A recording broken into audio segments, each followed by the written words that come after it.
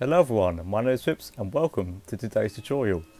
On today's show we're going to be building a miniature version of Soft Santa Claus.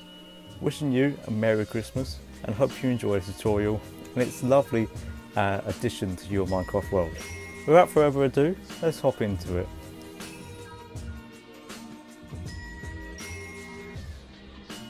For this build we're going to be placing two pieces of grey concrete like that then grab our red concrete and go back like this and then do a 3x3 area.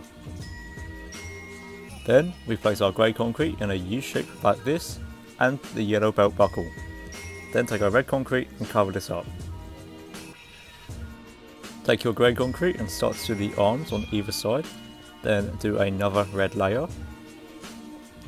Add in to the shoulders there on top of the grey. Next we take our white concrete and do another U shape for the beard, then we complete the back of the head. Top of this beard we add our white terracotta like so and then two pieces of grey concrete for the eyes. Then we go back and complete the, the head. Now it's time to flesh out this beard and make it more puffy like Santa's would be. Then we come back to the head and add in his hat.